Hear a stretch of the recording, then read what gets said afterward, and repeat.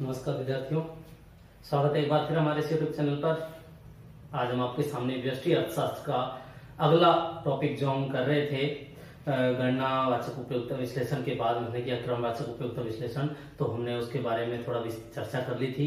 परिचय क्या था उसका, अर्थ क्या होता है, तरस्ता वक्र क्या होते हैं, तरस्ता वक्रों की मान्यताएँ क्या है अनधिमान वक्र विश्लेषण की मान्यताएँ क्या है सीमांत प्रतिस्थापन की दर क्या होती है, ये सारे हम पिछले वीडियो में आराम से पूरा चर्चा करके आ चुके हैं।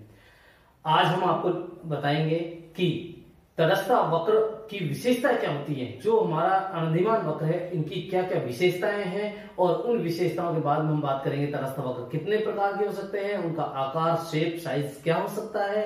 इसके बाद नेक्स्ट जो वीडियो जाएँगे, उन हम बताते रहेंगे। तो शुरू करते हैं आज के इस वीडियो में तटस्थ वक्रों की विशेषताएँ। करेक्टरिस्टिक्स ऑफ़ इंडिफरेंस का। तटस्थता वक्रों की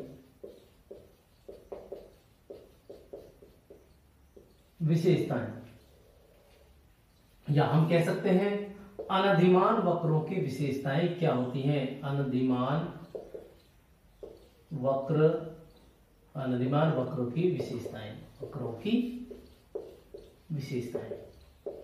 मुख्य रूप से इसकी पाँच छह विशेषताएँ हैं जिनको हम विस्तार से चर्चा करेंगे और उनसे आपको समझ में आ जाएगा तटस्था वक्र कैसा हो सकता है और इसमें क्या मुख्य बिंदु होना चाहिए। तो सबसे पहला हम लेते हैं कि जो तटस्था वक्र है, दाएँ से बाएँ व ऊपर से नीचे की ओर ऋणात्मक ढाल वाले पाए जाते हैं। तटस्था वक्र बाएँ से दाएँ। बाएँ से दाएँ बोले तो ऊपर से नीचे। बाएँ से दाएँ या हम कह सकते हैं ऊपर से नीचे। ऊपर से नीचे की ओर ऋणात्मक ढाल, ऋणात्मक ऋणात्मक ढाल वाले होते हैं।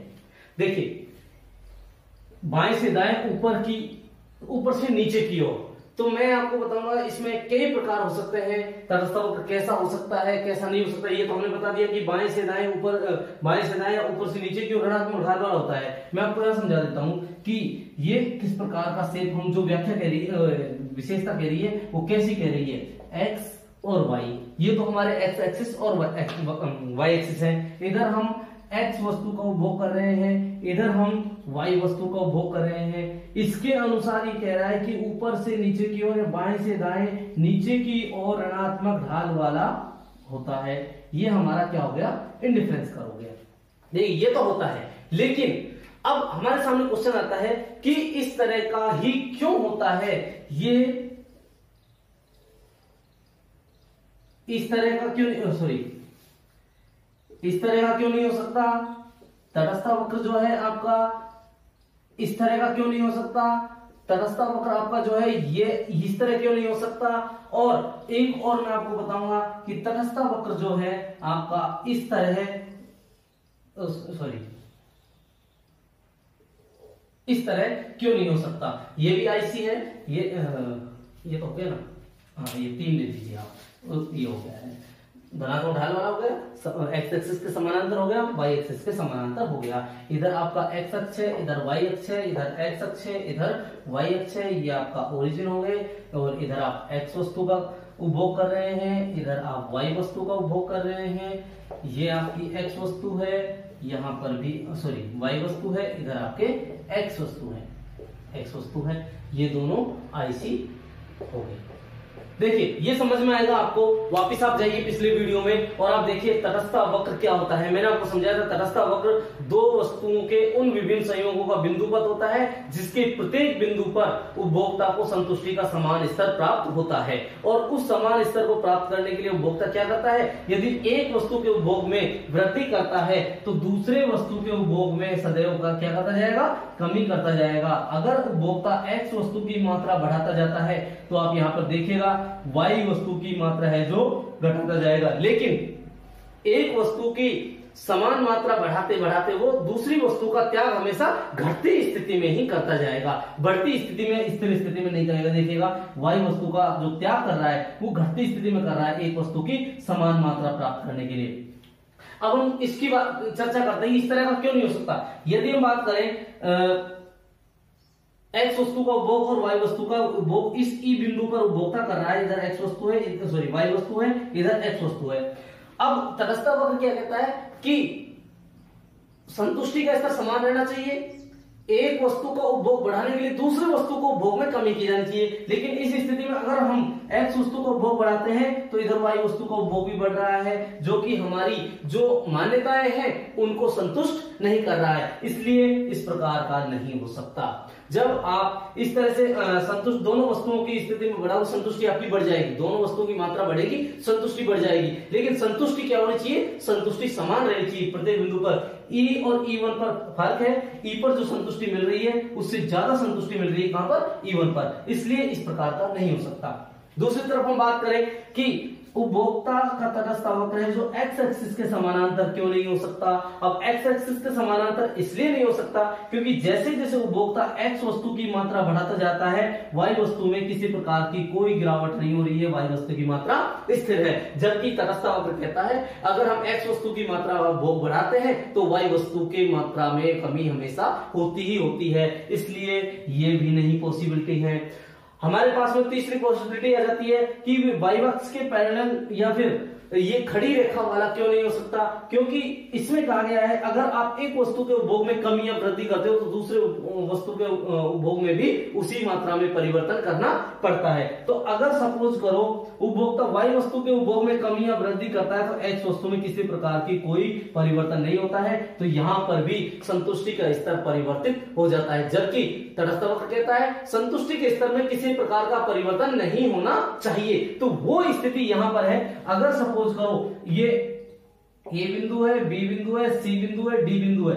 ए बिंदु से तटस्थ वक्र एक ही है। जब हम बात कर रहे हैं कि ए बिंदु पर अगर उपभोक्ता एक्स और वाई को उपभोग कर रहा है एक्स वस्तु की मात्रा में वृद्धि की तो वाई वस्तु में स्वतः ही कमी हो गई। आप देख सकते हैं, ये यहाँ से यहाँ पर आ जाता है, ये वाई वन से ये वाई ज़ीरो पर आ जाता है। फिर वाई टू पर आ जाएगा। इस तरह से घटती चली जाएगी मात्राएँ और हमारा तरसता वक्र है जो इसी को ही बताता है। और हम कह सकते हैं कि इस स्थिति में सीमांत प्रतिस्थापन की दर जो है क्या है? घटती हुई है। इनमें सीमांत प्रतिस्थापन की दर कहीं भी हमें दिख नहीं रही कि एक वस्तु के उपभोग को कमी या वृद्धि करने पर दूसरे वस्तु के उपभोग में अनुपात में परिवर्तन हो रहा हो। तो हम कह सकते हैं कि जो तटस्थ वक्र है, बाएँ से दाएँ, ऊपर से नीचे की ओर ऋणात्मक ढाल वाला ही होता है। मैं समझ, सोच सकता हूँ कि आपको ये समझ में आ गया होगा। अगला हमारा जो विशेषता है इसको साफ़ कर रहा हूँ। अगली विशेषता है कि तटस्था वक्र है जो ऋणात्मक ढाल वाले तो होते ही है, उसके साथ साथ मूल बिंदु के प्रति उन्नतोदर होते हैं। Concave convex to the origin देखिए, दूसरी विशेषता है, मूल बिंदु के प्रति उन्नतोदर होते हैं। मूल बिंदु के प्रति उन्नतोदर convex to the origin convex to the origin अब देखिएगा, एक मैं आपको यहाँ पर बता रहा हूँ। ऋणात्मक ढाल वाला ही बनाऊँगा एक आपका तटस्था वक्र ये है, इधर एक्स वस्तु को ले लीजिए, इधर वाई वस्तु आ जाएगी, इधर ओरिजिन हो जाएगा, और ये आपका क्या हो गया? आईसी हो गया। एक्स वस्तु वाई वस्तु। ऋणात्मक पहली विशेषता के आधार पर ही बना रहा हूँ मैं। पहली विशेषता को संतुष्ट करनी चाहिए। ये दूसरा आपको बन जाएगा। ये भी ऊपर से नीचे की ही है। देखते रहिए। एक्स और इधर वाई इधर ओरिजिन ये आपका आईसी हो गया। और ये तीसरा है जो अपना चाहता है कि एक्स सॉरी मूल बिंदु के प्रति उन्नत दर होना चाहिए। तो ये मूल बिंदु के प्रति उन्नत दर मैंने बना दिया है। कौन सी वाई वस्तु है? इधर भी आप देख लीजिए, इधर वाई वस्तु का उपभोग करें।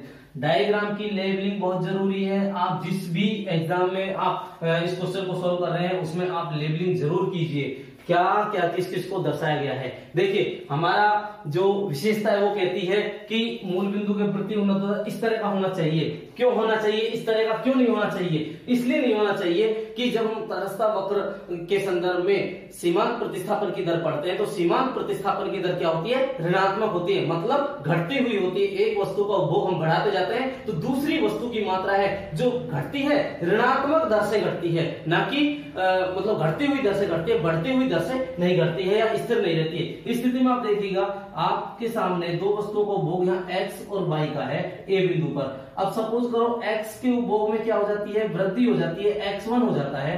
तो y की मात्रा में कमी तो हो गई। y1 हो तो गया। लेकिन आप देखेंगे, x और y में समान अनुपात में परिवर्तन हुआ है। डेल्टा y है, ये डेल्टा x है। तो इस स्थिति में हम क्या कह सकते हैं? Delta x equal to delta y मतलब दोनों में समान मात्रा में परिवर्तन हो रहा है। अगर सपोज़ करो, हम x वस्तु की मात्रा में कमी करते हैं या x ज़ीरो कर देते हैं तो ये क्या हो जाएगा? y ज़ीरो बढ़ जाएगी। इसमें वृद्धि हुई, इसमें कमी हुई, लेकिन दोनों में कमी और वृद्धि है, जो क्या हुई है? समान हुई है। यहाँ पर हम कह सकते हैं एम आर एस है जो क्या है? एक के बराबर है इक्वल है। मतलब दोनों में समान अनुपात में परिवर्तन हो रहा है। जबकि तटस्थ वक्र के संदर्भ में हम कहते हैं सीमांत प्रतिस्थापन की दर M R S marginal rate of substitution क्या होनी चाहिए? ऋणात्मक होनी चाहिए। हम इसकी स्थिति में आते हैं। एक हमारे पास में ये ए बिंदु है। और यहाँ पर उपभोक्ता है, जो उपभोग कर रहा है, इधर एक्स वाई वस्तु को उपभोग कर रहा है, यहाँ इसी के संगत ये एक्स वस्तु का उपभोग कर रहा है। सपोज़ कीजिए, मैंने आपको बताया, एक वस्तु को उपभोग बढ़ाया जाता है एक्स वस्तु का उपभोग बढ़ाया जाता है। एक्स वस्तु का ये आपने उपभोग बढ़ा दिया है। एक्स वस्तु का उपभोग बढ़ाया एक्स की तुलना में ज़्यादा मात्रा में कमी हुई एक्स में जो वृद्धि हुई है, उससे ज़्यादा मात्रा में कमी हुई है। हमने एक्स का और ज़्यादा बढ़ा दिया उपभोग इतना ही समान मात्रा में बढ़ाया तो एक्स का देखेगा आप लगातार जो वाई की मात्रा है जो बढ़ती जा रही है इसका मतलब इस स्थिति में क्या है? जैसे जैसे हम एक्स वस्तु को बढ़ाते जाते हैं वाई की मात्रा में बढ़ती दर पर क्या होती है? कम कटौती होती है। तो यहाँ पर एम आर एक्स जो है वो क्या हो जाती है? ग्रेटर देन वन हो जाती है। ग्रेटर देन वन मतलब आ, बढ़ती दर से बढ़ रहा है। और यार इसको हम कह सकते हैं ग्रेटर देन ज़ीरो कह सकते हैं, एक से अधिक तो नहीं हो सकती ग्रेटर देन ज़ीरो धनात्मक हम कह सकते हैं। ठीक है? दूसरी स्थिति लास्ट हमारे सामने आ जाती है ग्रेटर देन वन कर दीजिए। अब देखिए, ये आ जाता है। तो इसमें क्या होना चाहिए? एमआरएस जो है, ऋणात्मक होनी चाहिए। अर्थात जैसे जैसे हम, ये ए बिंदु है हमारा हमने ए बिंदु पर ये वाई वस्तु का उपभोग करें, इधर एक्स वस्तु को उपभोग करें, हम एक्स की समान मात्रा में क्या करते हैं? वृद्धि करते जाते हैं। तो आप देखिएगा यहाँ पर आपकी वाई वस्तु की जो मात्रा है, लगातार घटती जा रही है। तो इधर M R S is less than one है। तो इसका मतलब घटती दर से घट रही है। मूल बिंदु के प्रति उन्नत दर होने का मतलब मूल बिंदु हमारा ओरिजिन इधर को है, इधर को है। ये एक सीधी रेखा में है, ये कॉन्केव टू द ओरिजिन है, ये कॉन्वेक्स टू द ओरिजिन है। तो समझ में आ गया होगा कि मूल बिंदु के प्रति उन्नत दर क्यों होना चाहिए। इसकी अगली विशेषता हम चर्चा करते हैं, जो नेक्स्ट थर्ड इसकी करेक्टरिस्टिक्स है वो है कि तटस्था वक्र। जब हम तटस्था मानचित्र की बात करते हैं तो एक तटस्था एक ही रेखा चित्र में कई सारे तटस्था वक्रों की व्याख्या करते हैं। तो ऊँचा तटस्थ वक्र जो होता है, वो संतुष्टि के अधिकतम स्तर को बताता है। तीसरी है ऊँचा तटस्थता वक्र। संतुष्टि के ऊँचे स्तर को बताता है। ठीक है? अब देखिएगा, संतुष्टि के ऊँचे स्तर को कैसे बताएगा? ये हम एक तरस्ता वक्र ले लेते हैं। इस पर हमने तीन तरस्ता वक्र बना लिए। IC one IC two IC three ये तीन तरस्ता वक्र हो गए इधर एक्स हो गया, इधर वाई हो गया। सपोज़ कीजिए, हम पहले नंबर पर बात करते हैं एक्स वस्तु का उपभोग यहाँ एक्स ज़ीरो है, इधर वाई ज़ीरो है। अगर हम वाई ज़ीरो का समान उपभोग रखते हैं और एक्स वस्तु के उपभोग में वृद्धि कर देते हैं तो हमारी क्या है? संतुष्टि के स्तर में क्या हो जाती है? वृद्धि हो जाती है। तरस्ता वक्र कहता है कि एक वस्तु के उपभोग बढ़ाने पर दूसरी वस्तु को उपभोग में कमी कीजिए। लेकिन यहाँ पर क्या है? कमी नहीं हो रही है। तो इधर क्या हो गया? ये ए बिंदु से ए पर चला गया। फिर अगर हम वायु वस्तु में वृद्धि नहीं करते हैं वायु वस्तु को भोग में तो एक्स वस्तु को भोग हमारी विशेषता है कि तटस्था वक्र एक दूसरे को ना तो काटते हैं, एक दूसरे को ना तो काटते हैं और ना ही स्पर्श करते हैं। स्पर्श करते हैं। देखिए विद्यार्थियों, तटस्था वक्र, दो तटस्था वक्र एक दूसरे को ना काटते हैं, ना स्पर्श करते हैं। अभी जो मैंने बताई आपको विशेषता ऊँचा तटस्था वक्र संतुष्टि के ऊँचे स्तर को बताता है, उसी से संबंधित है। इसको मैं आपके सामने दो तटस्था वक्र जो आपस में एक दूसरे को काट रहे हैं, उनसे स्पष्ट करूँगा। ये एक्स एक्सिस है वाई एक्सिस है, इधर एक्स वस्तु का उपभोग किया जा रहा है, इधर वाई वस्तु का उपभोग किया जा रहा है। दो तटस्था वक्र मैं आपके सामने रख रहा हूँ। एक तटस्था वक्र है, ये आई सी वन है, ये आई सी टू है। आई सी टू ये ई बिंदु है देखिएगा, दोनों तटस्थ वक्र मैंने बना दिए हैं, एक दूसरे को काट रहे हैं। इसी से ही समझाऊँगा कि दोनों तटस्थ वक्र एक दूसरे को क्यों नहीं काटते हैं और क्यों स्पर्श नहीं करते हैं। यहाँ पर ले लीजिए आप, ए बिंदु ले लीजिए, ये बी बिंदु ले लीजिए, ये सी है और ये डी है। अब आप देखेंगे कि एक तटस्था वक्र पर प्रत्येक बिंदु संतुष्टि के समान स्तर को बताता है। तो हम कह सकते हैं B is equal to E is equal to D ये तीनों बिंदु एक साथ हैं। वही हम कह सकते हैं कि A बिंदु A इक्वल्स टू ई बिंदु इक्वल्स टू सी सभी बिंदु हैं जो एक दूसरे को मैंने बता दिया। दोनों तटस्था वक्र, ये आई सी टू का है और ये आई सी वन के बिंदु हैं। अब आप देखेंगे कि जब हम इसे पूर्व जाते हैं इसे पूर्व ए ग्रेटर देन बी है ई बिंदु से पूर्व ई बिंदु से पूर्व ऊँचा तटस्थ वक्र संतुष्टि के ऊँचे स्तर को बताता है। लास्ट वीडियो में बताया आप लास्ट सॉरी इसमें विशेषता में ही मैंने बताया है। तो यहाँ पर हम कह सकते हैं बी ग्रेटर देन ए अर्थात क्या कह सकते हैं? आईसी टू ज़्यादा संतुष्टि दे रहा है किसको? आईसी वन को। आई आईसी वन से ज़्यादा संतुष्ट है संतुष्टि देता है। लेकिन हम ई बिंदु के बाद देखते हैं। ई बिंदु के पश्चात। बात देखिएगा। सी ग्रेटर देन डी मतलब सी बिंदु पर ज़्यादा संतुष्टि है बजाय डी बिंदु के। तो हम यहाँ कह सकते हैं कि आईसी वन है जो ज़्यादा संतुष्टि देता है आईसी टू से। देखिएगा, हमने इसकी जो मान्यताएँ थी, उनमें देखा था सैकर्मकता की मान्यता, जिसमें हम कहते हैं कि एक तटस्थ वक्र या एक समय में हम उपभोक्ता ने ए संयोग को अगर ज़्यादा प्रेफरेंस दे दी बी से और बी को ज़्यादा दे दी सी से तो हमेशा ए ग्रेटर देन सी ही रहेगा। लेकिन यहाँ पर क्या है? एक समय में तटस्थ वक्र टू ज़्यादा अच्छा है तो वहीं दूसरे समय में तटस्था वक्र वन ज़्यादा अच्छा है। तो हमारी सैकर्मकता की मान्यता जो है, ट्रांजिटिविटी की थ्योरम है, वो क्या हो, ये भंग हो जाइए। और इसलिए हम कहते हैं कि तटस्था वक्र ना तो एक दूसरे को स्पर्श करते हैं और ना ही एक दूसरे को कभी काटते हैं। हमारी अगली विशेषता तटस्थ वक्र के संदर्भ में अगली विशेषता है कि तटस्थ वक्र किसी भी अक्ष को, ना एक्स अक्ष को, ना ही वाई अक्ष को, दोनों में से किसी को भी स्पर्श नहीं करते हैं। देखिए, दो तटस्थ वक्र कोई भी तटस्थ वक्र होगा पाँच विशेषता है। तटस्था वक्र, तटस्थता तटस्थता वक्र एक दूसरे को, एक या सॉरी इसको लिख सकते हैं, किसी भी अक्ष अक्ष बोले तो ब्रैकेट में O X and O Y को स्पर्श नहीं करते हैं। स्पर्श नहीं करते हैं। देखिए, यदि तटस्थ वक्र मैंने ले लिया, ये x ले लिया है, इधर y ले लिया है, इधर x वस्तु ले ली है इधर y वस्तु ले ली है। सपोज़ करो, तटस्था वक्र आपका इस प्रकार का है IC तो इस स्थिति में उपभोक्ता केवल x अक्ष का x वस्तु का ही उपभोग कर रहा है। जब तटस्था वक्र किसी भी अक्ष को छू लेगा तो उस अक्ष पर मुद्रा या कीमत को माप माना जाता है। दूसरी वस्तु को उपभोग करता है। तो यहाँ पर केवल और केवल उपभोक्ता वाई एक्स वस्तु का उपभोग कर रहा है। लेकिन अगर ये तटस्था वक्र हमारा इस प्रकार से हो, जो एक्स अक्ष को छू रहा हो, ये हमारा वाई अक्ष है ओ वाई और ये ओ एक्स अक्ष है। तो इस स्थिति में केवल और केवल उपभोक्ता वाई वस्तु का उपभोग करता है। इसलिए तटस्थ वक्र कहता है कि दो वस्तुओं के विभिन्न संयोगों पर संतुष्टि मिलती है।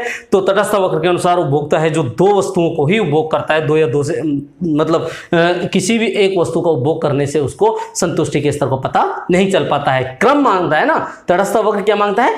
क्रम माँगता है और वो तुलना करता है। तो इसलिए दो वस्तुएँ मिनिमम होनी ही चाहिए। अगली जो विशेषता है और आखिरी इसकी विशेषता है वो है अपनी कि तटस्था वक्र एक दूसरे के समानांतर हो, यह कोई आवश्यक नहीं है। तटस्थ वक्रों का समानांतर होना आवश्यक नहीं। तटस्थता वक्रों का समानांतर होना समानांतर होना आवश्यक नहीं है। मतलब समानांतर हो कोई आवश्यक नहीं है। दो तटस्थ वक्र इस प्रकार से हो सकते हैं। ये एक दूसरे के समानांतर हो भी सकते हैं और ये एक दूसरे के समानांतर नहीं भी हो सकते हैं। लेकिन हमारी जो विशेषता है, उसको ज़रूर ध्यान में रखना है कि ये दोनों को एक दूसरे को ना तो स्पर्श करेंगे, ना ही इसको टच करेंगे, ना ही इसको काटेंगे। तो इस प्रकार से हमारी तटस्थ वक्रों की विशेषताएँ खत्म होती हैं। इसी में अगला देखते हैं, तटस्थ वक्रों का आकार। तटस्थ वक्र मुख्य रूप से दो आकारों में पाए जाते हैं। दो आकार कौन कौन से हैं, वो मैं आपको इसमें बताता हूँ। तटस्थ वक्रों का आकार।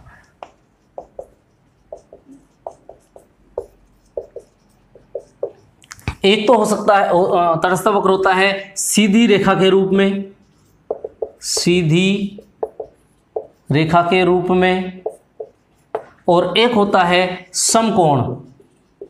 समकोणीय तटस्था वक्र।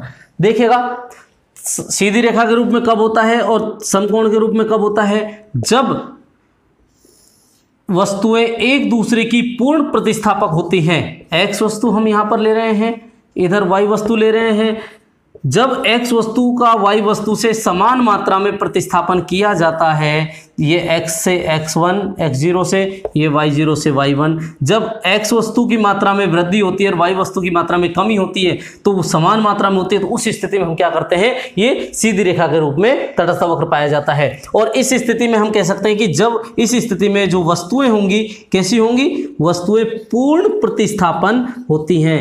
प्रतिस्थापन। पूर्ण प्रतिस्थापन वस्तुएँ। वस्तुएँ पूर्ण प्रतिस्थापन होंगी और इस स्थिति में मार्जिनल रेट ऑफ़ सब्सटीट्यूशन है जो इकाई के बराबर होगा। इकाई के बराबर मतलब एक वस्तु का जितने जितनी मात्रा में त्याग किया जा रहा है, दूसरी वस्तु का उतनी ही मात्रा में वृद्धि की जा रही है। लेकिन यहाँ पर जब दो वस्तुएँ एक दूसरे की पूरक होंगी, जैसे राइट लेग का जूता और लेफ़्ट लेग का जूता अगर एक पैर का जूता खो गया है फट गया है कहीं भी गया है दूसरे पैर का काम नहीं आ सकता। उसी प्रकार से हमारे पास कार है पेट्रोल है तभी हम कार ड्राइव कर सकते हैं। पेट्रोल नहीं है तो कार हम नहीं चला सकते। हमारे पास पेन है इंक नहीं है तो हम नहीं कर सकते। तो इसका मतलब है जब समान अनुपात में दोनों वस्तुओं का आ, मतलब प्रयोग किया जाए तो उस स्थिति में हम क्या कह सकते हैं कि तरस्ता वक्र जो है हमारा समकोण के रूप में पाया जाता है। ये हमारे आईसी है जिसमें हम एक्स वस्तु का जितने मात्रा में वृद्धि करते हैं, उतनी ही वायु वस्तु की मात्रा में वृद्धि करनी पड़ती है। जितना हम एक्स वस्तु को बढ़ाएँगे, उतना ही वायु वस्तु को बढ़ाना पड़ता है। तो ये हमारे तटस्था वक्र आ जाते हैं। इधर हम एक्स वस्तु को ले लेंगे। इधर वाई वस्तु है।